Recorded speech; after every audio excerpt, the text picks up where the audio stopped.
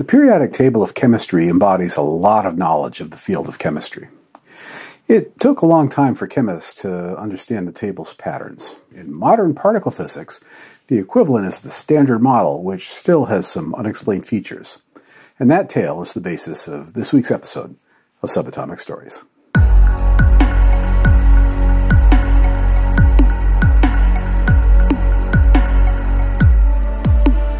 Periodic table of chemistry was invented in 1869 by Russian chemist Dmitry Mendeleev. You probably learned about it in a chemistry class. The table consists of rows and columns of elements. Each column consists of elements with similar chemical properties, and the mass of elements was ordered with the lightest ones at the top and the heaviest ones at the bottom. As an example, in the leftmost column, we have the alkalis with hydrogen, lithium, sodium, potassium, and so on. They're all very highly reactive elements. And over here on the right side, we have the noble gases with helium, neon, argon, krypton, and xenon. None of these elements react really much at all. For about 50 years, scientists were aware of the patterns but didn't understand them. It took the theories of atomic and nuclear physics to clear things up. We now know that each column has similar reactive properties because the elements in each column has a similar configuration of outermost electrons. For instance, the noble gases all have a filled orbital of electrons with no space to comfortably accept another electron. That's why they don't react much. In contrast, the alkalis all have an extra electron, which makes them willing participants in chemical reactions. You probably learned about all of this in high school chemistry. Elements at the top of columns are lighter because the bottom ones contain more protons and neutrons. Thus, the reactivity of the columns is governed by atomic physics, while the increase in the mass as one goes from the top row to the bottom is explained by nuclear physics. This was all clear by the mid 1920s. Now, for particle physics, the situation is similar to what it was during the first years of the periodic table. We learned about the smallest known building blocks of matter in episodes 2, 3, and 4 of Subatomic Stories. They're the quarks and the leptons. As a reminder, there are six quarks with the names up, down, charm, strange, top, and bottom. There are three charged leptons named the electron, the muon, and the tau. And then finally, there are the three neutrinos, the electron type, the muon type, and the tau type. We ordinarily arrange them looking like this. The first row of quarks all have electrical charge of two-thirds that of the proton, or plus two-thirds. The second row of quarks have a charge of one-third that of an electron, or minus one-third. The row of charged leptons all have a charge of minus one, and the neutrinos are all neutral. As you go from left to right in a row, the various quarks or leptons get heavier, except for maybe the neutrinos, which have a complicated mass story. These columns tell their own story. The leftmost column are the building blocks of ordinary atoms. The second and third columns are carbon copies of column 1, but the particles are unstable. Particles in those columns are not ordinarily found in nature. Physicists call the columns generations, and the simple fact is that we don't know why there are multiple generations. We don't know why the quarks and leptons have the charges that they do. But we can make an analogy to the chemical periodic table and say that the rows of the modern periodic table are kind of chemically similar and that subsequent columns are heavier. But we don't know why. On the other hand, we can maybe look to the chemical periodic table for hints. For instance, in both cases, the increasing mass and chemical reactivity are caused by each atom having an internal structure. Perhaps the same thing is true in the quarks and leptons, and the rules that govern them are due to the unknown rules that govern the particles contained within them. Scientists have a proposed name for the building blocks of quarks and leptons, and that name is preons. Now, before I say anything more, I should tell you that there is exactly zero experimental evidence for preons. We've looked. Heck, I've looked. If quarks and leptons contain preons, then the quarks and leptons will have a size. And using data from the most powerful particle accelerator on the planet, we've tried to measure their size and found nothing. Finding nothing doesn't mean that quarks and leptons have no size. It means that they're smaller than the smallest thing your instrument can see. And the best instruments available to modern science can see things about 1 10,000th the size of a proton. So if quark and leptons have a size, they're smaller than that. The preon idea is not super popular in the scientific community. But if you're interested in learning more about it, I wrote an article about it in the Scientific American quite a few years ago. I put a link in the description. But even if preons are crazy, there's still the question of why there are three generations. And before you ask, it appears to be only three. Back in the early 1990s, scientists showed that there were only three different types of neutrinos, and since each generation seems to have a neutrino, that's why we think that there might be only three generations. It's all very mysterious.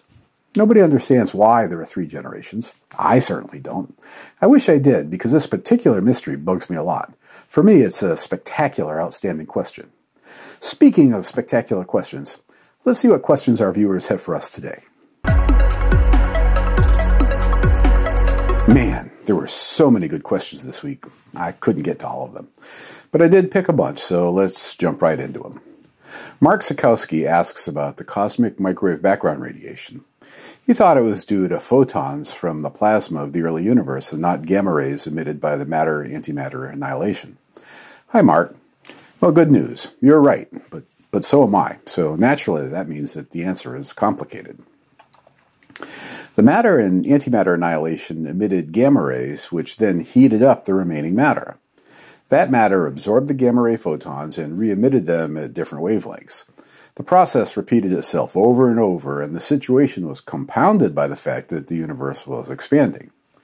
The CMB photons are from the plasma that existed about 400,000 years after the Big Bang, but their origin was from the original gamma rays. So that's the connection. Makes Sense J points out that positrons are emitted in certain forms of radioactive decay, and positrons are antimatter. Hi, makes sense. Yep, that's right. And antimatter is made in particle accelerators too.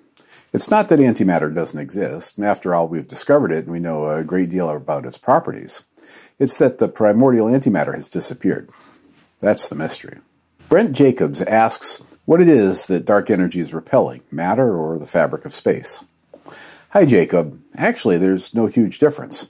Einstein's theory of relativity says that matter and energy are tightly linked to space and time. Change one and you change the other. However, I would say that dark energy is simply stretching space, which moves matter. Dark energy isn't like a force field that pushes matter apart in the sense that it would be natural to imagine it. The Eyes of Nye asks uh, about experiments looking for dark matter in future plants. Hi, Eyes. There have been tons of experiments, mostly buried deep underground to shield from radiation and also chilled to slow the motion of atoms and the detectors.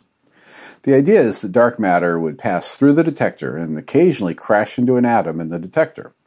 Researchers would look for the atoms to move. That's how it works. And there have been dozens of efforts. Nothing has worked so far, but there are some high precision dark matter experiments on the horizon, like LUX-ZEPLIN to be conducted in South Dakota, Super CDMS to be conducted in Canada, Xenon 1T in Italy, and Panda X2 in China. Dark matter can run but it can't hide. We'll crack this nut one day in the not too far future. Squirrel ASMR notes that I am charming, funny, and smart.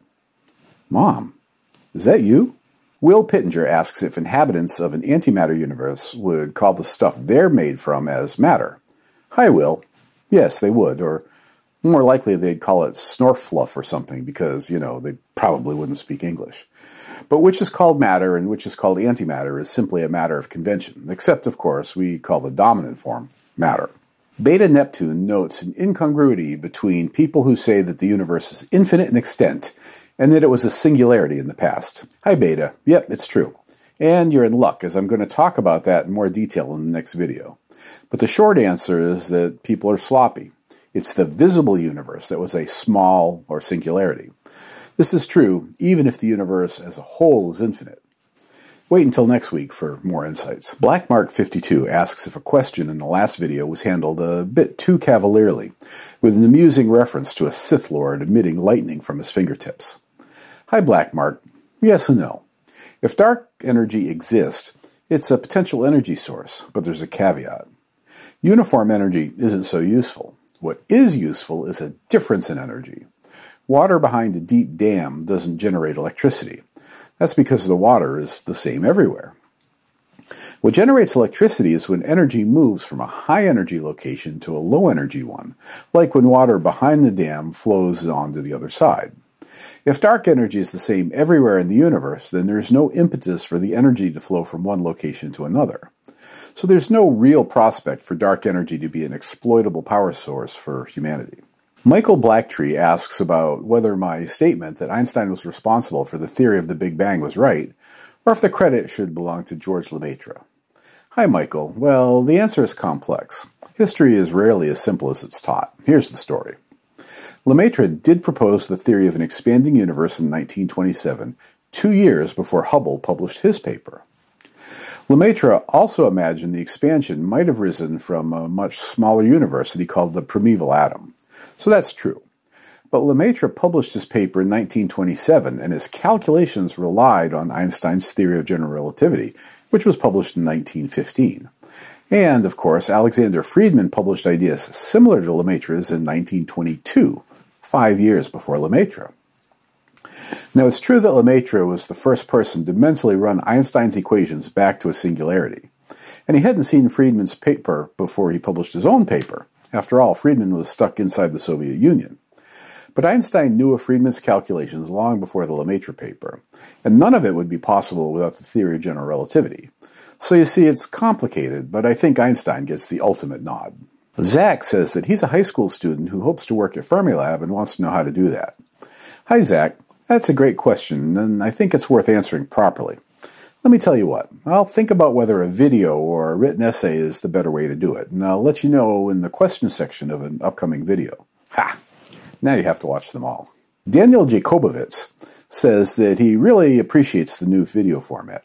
Hi, Daniel. Thanks. People seem to be split between the subatomic story format and the long form videos. The long form videos reach a larger audience, and I hope to transition back to them soon. However, I'd like to hear from the viewership about what they like about either format, and maybe the new version will be a blend of what people like about both. Let me know in the comments. And finally, Edward Siegel notes that it is often said that antimatter is matter going backward in time. And maybe that means that antimatter went back in time and got pushed back to before the universe began. Hi, Edward. Yes, I've heard that too, and I think it's terribly misleading. It's a case of someone loving their math just a little bit too much. Let me explain, but I should warn you there's some math involved. Here's an equation representing an antimatter electron moving through time and space. And here is the equation for a matter electron moving backward through time and space. And you see that the equations are the same. So, from a theoretical point of view, positrons moving through time are equivalent to electrons moving backward through time. But that's not necessarily physical. After all, when we make an electron an antimatter electron, they are made at the same time and move forward through time. To use another mindset, an electron in the future came backward in time to disappear at a time when a regular electron was created. It's a bit of a stretch, in my opinion, to say that this is a physical phenomenon. Some will disagree, but I'll leave that conversation to the philosophers. They got time on their hands. Okay, that's all the time we have for questions today. There were a lot. That's not surprising because our viewers are a curious lot. Each week, after they like, subscribe, and share, they sit down and think about the physics we talk about here. And how could they not? After it all, even at home, physics is everything.